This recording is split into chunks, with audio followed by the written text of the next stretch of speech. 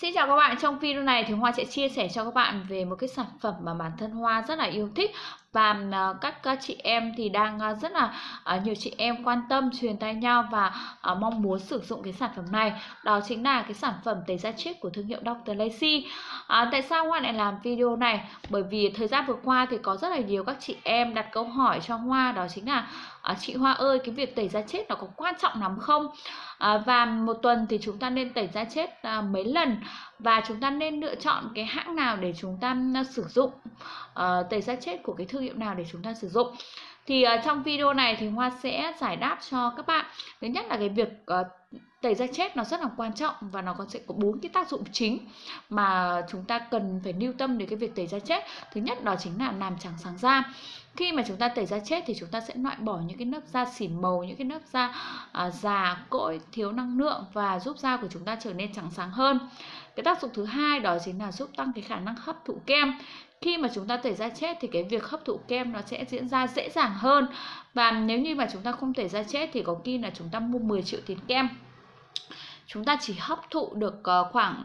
ờ, 500 nghìn thôi như vậy thì rất là lãng phí phải không nào? À, hay là một số chị em mà không có thói quen tẩy da chết ấy khi mà bôi kem hay khi mà đánh phấn nhìn da rất là mốc rất là thiếu thẩm mỹ. À, cái tác dụng tiếp theo đó chính là giúp tăng sinh tế bào. Và như chúng ta đều biết là cứ 28 ngày thì sẽ có một cái tế bào uh, tế bào của chúng ta cứ sau 28 ngày thì sẽ lại sinh ra tế bào mới đúng chưa nào? Đấy và cái việc có tẩy da chết định kỳ thì rất là quan trọng sẽ uh, giúp cho um, da của chúng ta trở nên căng bóng và mịn màng hơn. Và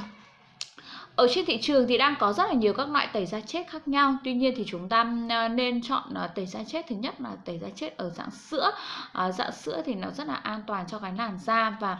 à, nó sẽ lấy đi những cái bụi bẩn ở, ở sâu trong da ở sâu trong lỗ chân lông một cách dễ dàng nhất. Đấy và ờ, với cái chiết xuất ờ, với cái chiết xuất ờ, tẩy da chết của thương hiệu Dr. Lacy thì với chiết xuất là dưa leo, chiết xuất cây phỉ